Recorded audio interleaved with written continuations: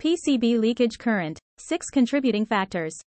PCB leakage current refers to the unintended flow of electric current between conductive elements on a printed circuit board, PCB. This leakage current occurs when an electrical charge escapes from its intended path and follows an unintended route. PCBs are designed to carry specific currents between components and traces without any leakage, but various factors can contribute to leakage current, including 1. Dielectric material properties. The dielectric material used in PCBs, typically between layers of conductive traces, has a specific resistance and can support a particular voltage level before breaking down. If the dielectric material is damaged, has impurities, or is of poor quality, it may allow current to flow where it shouldn't. 2. Environmental factors.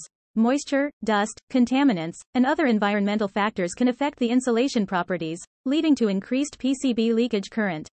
3. Temperature.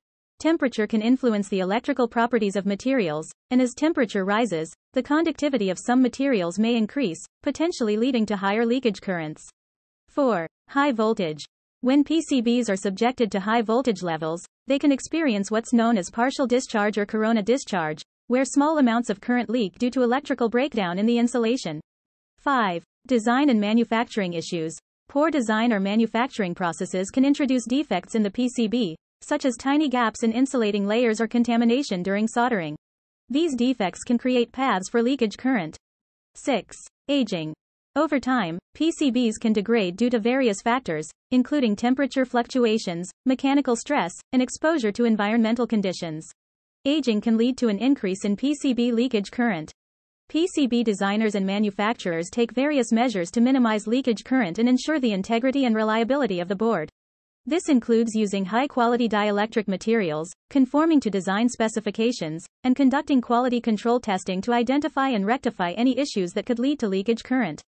Leakage current can be a concern in sensitive electronic devices, especially those used in critical applications, as it can lead to reduced performance or even failure if not adequately managed. Thanks for watching. For more details, contact us.